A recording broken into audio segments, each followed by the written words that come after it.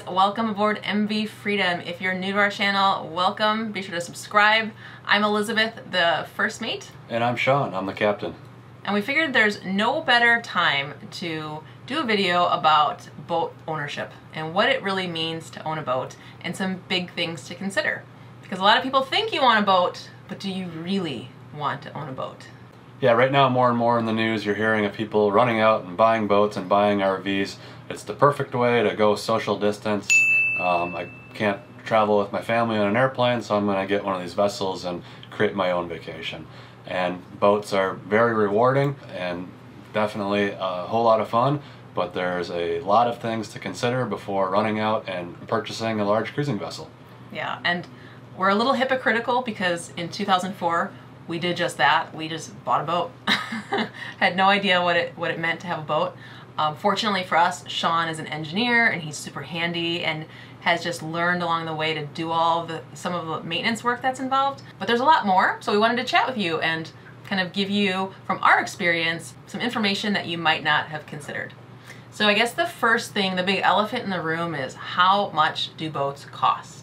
And that is so subjective based on the type of boat you want.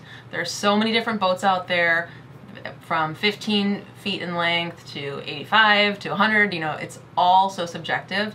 Um, one of the websites that we found and to this day find super helpful is yachtworld.com. So if you're thinking about a boat, definitely head over to Yacht World and just start searching. Um, for boats in the length that you're interested in, um, in the area of the world that you live in.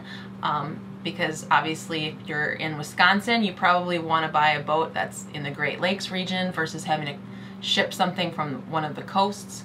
Um, but that'll give you a really good idea of what boats cost.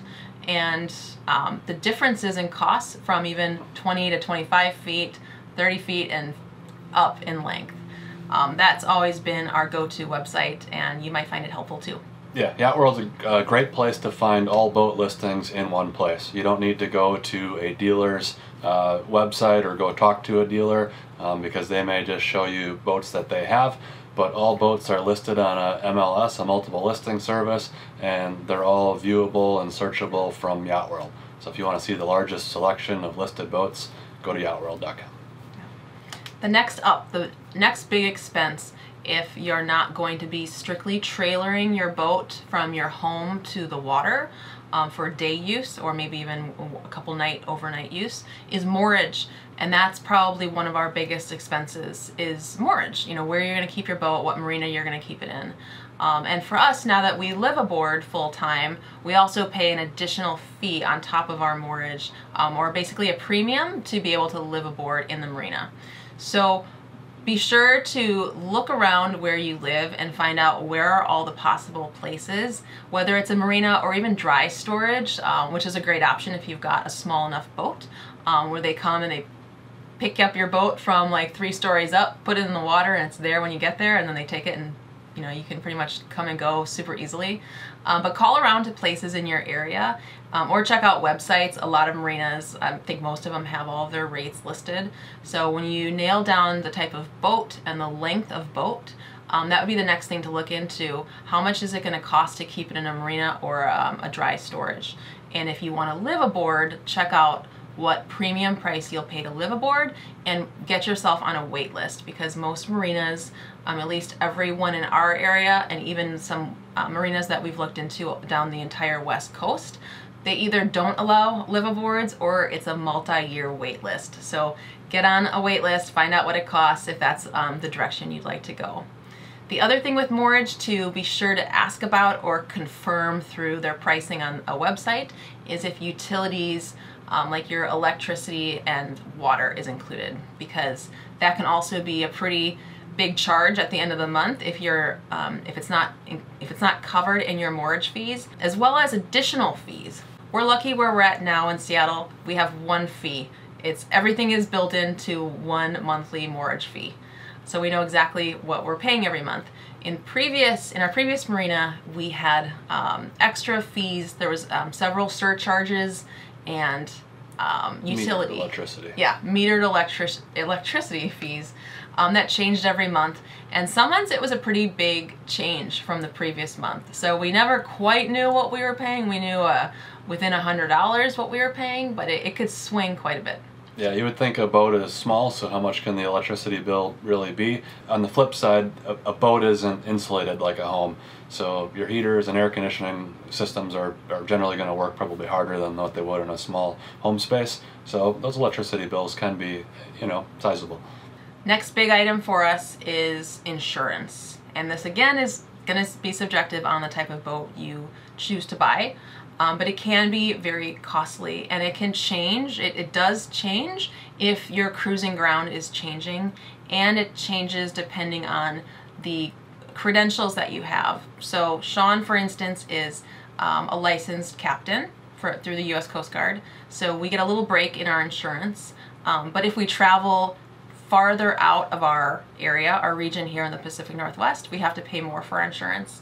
And also depending on the time of year, like if you're on the East Coast, your insurance company will sometimes dictate where you can and can't be during certain times of the year with hurricane seasons um, and stuff like that. So call your insurance agent or find an insurance agent and get some ballpark quotes because you might be shocked at how much you're going to pay for boat insurance. Yeah, and make sure that you can get insurance for that nice boat that you're looking to buy. If you have zero experience and you want to go and buy a 80 foot boat, the insurance company might say no. They might say you need to have a captain for so long, um, or you know you need to demonstrate so much experience before they'll even insure you on that type of boat. So don't buy the boat first and then check on the insurance. You know, you want to make sure that you're insurable before you buy the boat. Yeah, that's a really good point. A lot of this, it's kind of doing it all at the same time. Look for all these things as you're looking for a boat, and then you'll you might change your mind on what boat you actually want. For us in Washington State, um, this obviously would be specific to us. This may apply in the state you live, so you should definitely inquire. But we have a Washington State uh, registration for boats, um, really a vehicle registration, basically an excise tax in the amount of a half a percent of the Blue Book value of your vehicle. And for boats that are a lot more expensive than a car, um, it, it's a lot more expensive. And it's something we didn't know when we moved here, and a lot of folks don't know until you get the bill in the mail. Know some of those costs. Find out if your state has any um, excise taxes or extra registration fees, because that's one of those things that hit you when you least expect it, and um, you should know about in advance. Yep, and our boat's federally documented, so some may say, well, do you need to locally register it? And in Washington, the law is if the vessel is in the state for 60 days um, or more, then it needs to be registered in the state of Washington. So, state by state, there's a lot of weird rules. I mean, if you're an attorney and you're looking to buy a boat, like more power to you, you know all the ins and outs. But there's a lot of weird rules and regulations. Like if we were to take our boat into California for more than I think 60 days, we'd be subject to some taxes. So do some research, go onto the state's websites, either where you live or where you plan on cruising, and get to know some of those rules so you don't get stuck having to pay potentially thousands or tens of thousands of dollars that you had no idea was coming.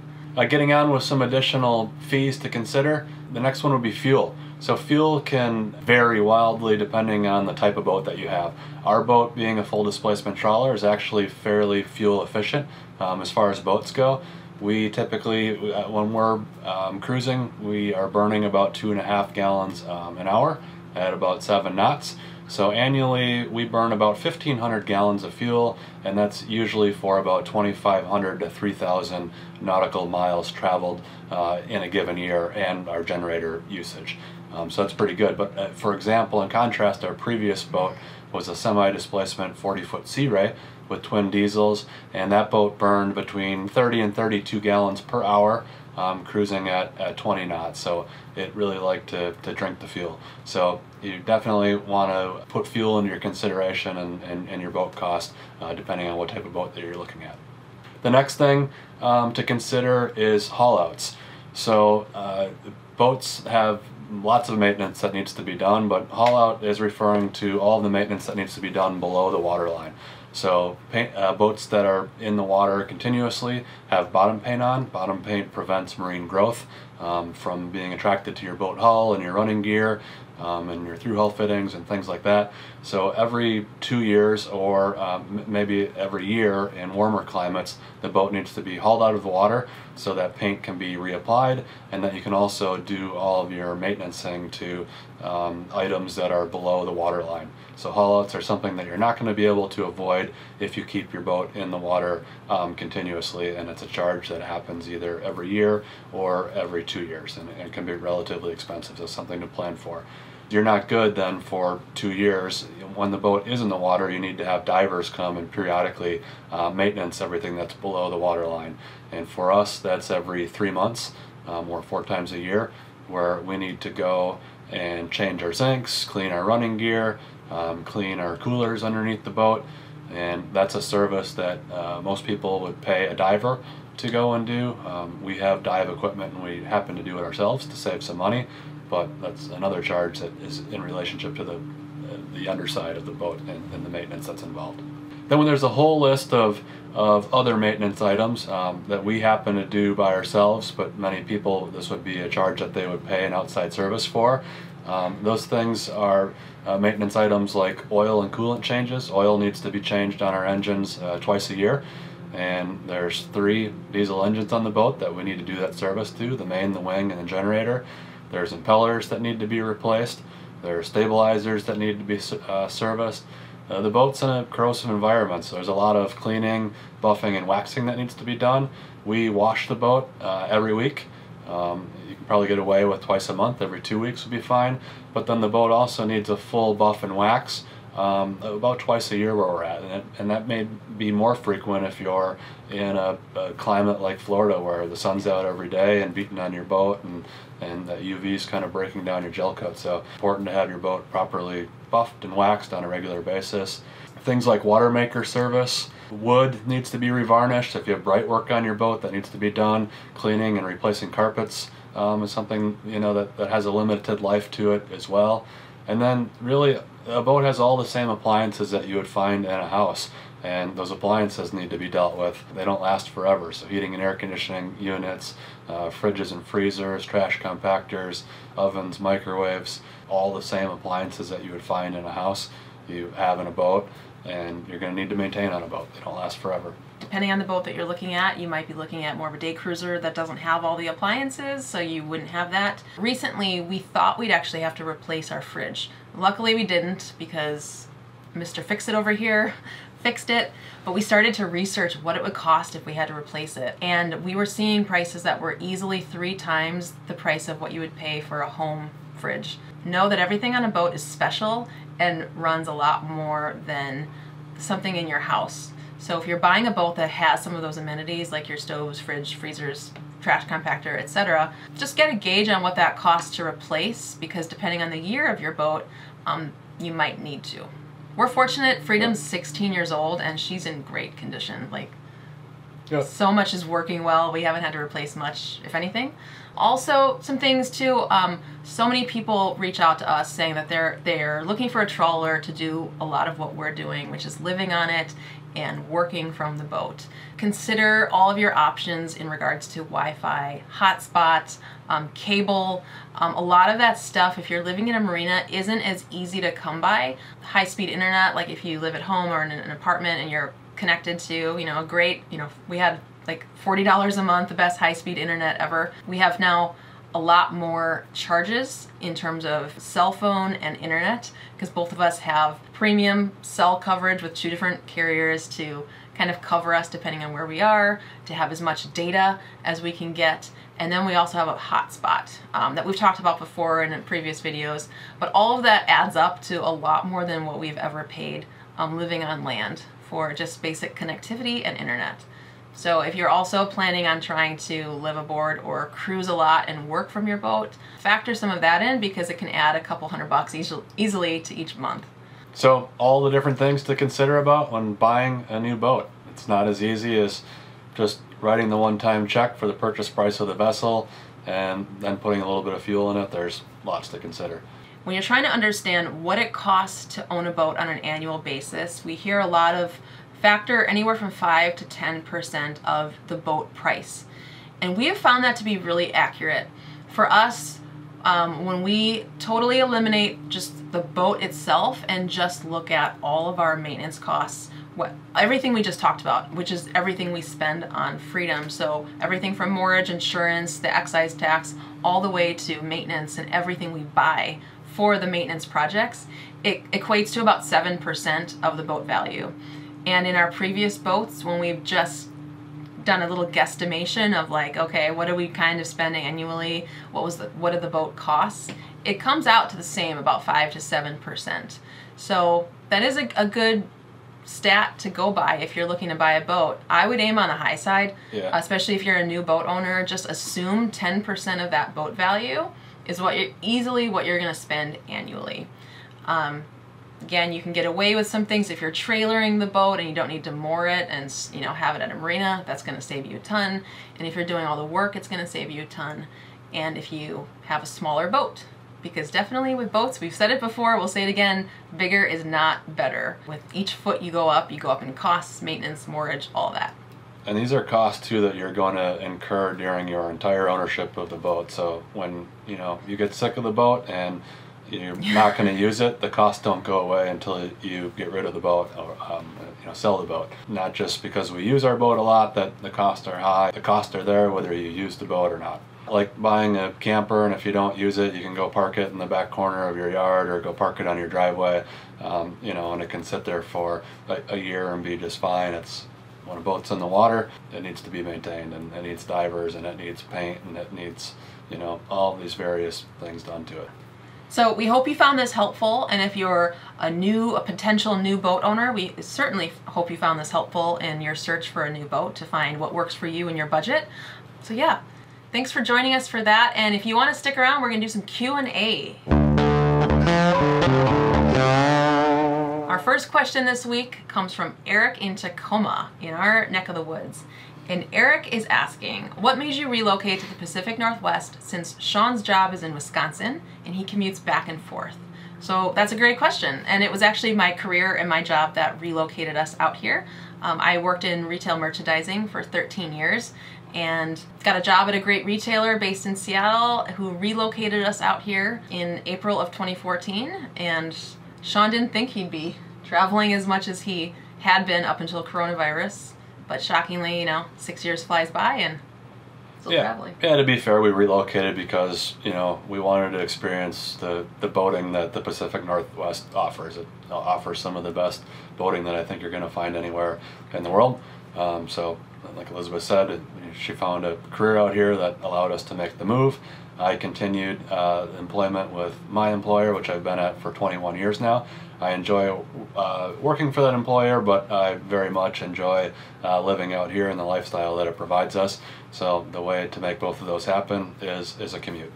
We had visited here a couple times prior to me finding a job, and we decided this was like the best place for us. We fell in love, and the year round boating was what we wanted. You know, a few months after we had decided that the Pacific Northwest and the Seattle area was for us, we were Seattleites. Thanks, Eric, for that question. And then uh, the next question comes from Ryan, Beth, Gracie, and Elena um, from Wisconsin. Hey, guys. Hey, uh, Ryan happens to be uh, my older brother. Um, watches our channel. Uh, submitted a question. It's a question that many people have asked: is what type of safety equipment do you have uh, on board Freedom? And the answer to that is we obviously have the, the bare minimum that the Coast Guard requires, things like signaling devices, flares, uh, life jacket, horn, um, fire extinguisher. We, we have all of that. But in addition to that, um, we have a few other things that we find uh, critical to our safety as well. And uh, the first one is an EPIRB, Emergency Radio Indicating Beacon, which uh, connects to GPS and if the if we needed to be rescued, we could activate the EPIRB or it will self-activate if the boat would capsize. And that's going to provide the Coast Guard um, all of our information, who we are, where we're located, and that we're in distress. And hopefully they'll send out um, a, a rescue um, to help us. So we have an EPIRB on the boat. Hopefully. Yeah. The, the next uh, thing that we have on our boat is you've all seen us cruising around in our inflatable boat. But in addition to that inflatable boat, we also have a lifeboat, an inflatable lifeboat that's mounted to the roof or the hardtop of our pilot house. And that lifeboat is a six-person capacity lifeboat, and it has um, it has rations inside of it, emergency rations of food and supplies. And if the boat were to capsize, the lifeboat would automatically deploy and blow up, and we could crawl into the lifeboat um, to shelter until we're rescued. So our lifeboat, they need to be certified every so often. That's something that we need to do uh, soon. We're actually overdue on. So we're going to try to see if we can film that in an upcoming video so you guys have an opportunity to see how those boats the, deploy and where it's stored on our vessel. Another item that we have is uh, communications we feel is important. So cell phones only work so far and VHF radios only work so far and if you're planning to travel um, you know, offshore more than five miles or so, uh, we find it to be important to have satellite communications on the boat. So we have a, a KVH um, phone, which is satellite phone and data and that allows us to make a phone call really anywhere um, in the world. So it's not yeah, inexpensive service, but if you need it, it's invaluable. So that's something else that we have for safety. Any more questions? Um, well, yeah. Okay, next question is from Brett in England. He says, um, you said that Alaska was in the future and maybe Hawaii, but do you think that the Med or even Europe may be in the cards? Um, so yes and yes. Um, that's something we talk a lot about, especially having a dog on board. With Sully, there's a lot of different quarantine restrictions and, and, rules that we have to be cognizant of depending on the countries we go to. Um, and we've been finding that South Pacific, Australia, New Zealand are some of um, the harder places to cruise with a dog. And Sully's seven years old, and we he's part of our family. We're not going to leave him behind. When we think about Sully and what's best for an animal on board, definitely you know more of the East Coast, um, going over to Europe and even the Med um, seem to be a little easier for us. So yes, we hope to make it over there, and that would be a pretty epic experience cruising in the Mediterranean. So thank you, Brett. Um, and last question is from Steve, and I'm hoping to not butcher this. Gananoque, Ontario, the heart of the Thousand Islands, and it sounds like a pretty awesome place to cruise. Hopefully we'll get there. Um, Steve asks, is MV Freedom your first boat, and had you planned to live on it all along? What's your biggest voyage planned and did COVID cancel those plans? Freedom is our fourth boat. We've been boating since 2004, right after we got married. It's funny, we're, we're sharing with you all these things to consider before buying a boat, and we never considered any of them. We got married and like two months later bought a boat. But we started small and worked our way up to freedom, which I think was helpful as well. You, you learn sort of everything you need to know about boating and I mean, you continue to learn every boat that you get, but we stepped up. So our first boat was a 24-foot Glastron pocket cruiser, which we had for about seven years. And then we upgraded to a 36-foot Carver sport sedan, which was like a condo on the water. Great boat, and that boat, um, the GG2, she was named, she relocated out to Seattle with us in 2014. And then we sold her about nine months later and bought Orca, the 40-foot Sea Ray, cruised with her for three years, and then two years ago we bought Freedom. And this has kind of been our, our dream for a long time to have this trawler to take us to all these places that we want to go. So yes, we, in anticipation of, of owning a trawler, we did always want to live on it, knowing that, you know, once we're cruising, it's going to be our home. So we're fortunate that we got a live aboard slip when we did. And then what's your biggest voyage planned and did COVID cancel those plans? So we hadn't really planned yet to be doing some long passages. Our first stop, you know, once we start cruising full time, which, you know, we're hoping is sooner rather than later, will be Alaska. So that'll probably, that'll be our first longest passage, which is, what, about 800 nautical miles? Yeah, but this summer we did have plans to go into British Columbia, which um, obviously we weren't able to do with the border being closed. Yeah. So we just had to change our plans a bit for our summer cruising this, this year. Yeah, in our um, 40 foot Sea Ray, we circumnavigated Vancouver Island, which was an amazing trip. Um, we love British Columbia. It's our favorite cruising ground that we've ever cruised in. So yes, um, COVID canceled those plans, but we've had an amazing time just in our own area, checking out some new places. Mm -hmm. yeah. So thank you, Steve, and thank you all for those amazing questions. Um, we are going to continue answering more of them at the end of our videos every week. Um, next week we'll get back on to our usual travel videos. If you got more questions for us and you want them answered semi-live on these videos, be sure to leave your name, your location, and your question either in the comments below um, or check us out on Instagram and uh, direct message us there. So at MV Freedom Seattle on Instagram, or you can check out our website too, mvfreedomseattle.com. hopefully we didn't bore you with this long video of just us talking. Next week we'll get back to um, one of our more regular travel vlogs. So thanks for watching and have a great week. Yeah, thanks for watching guys. Take care.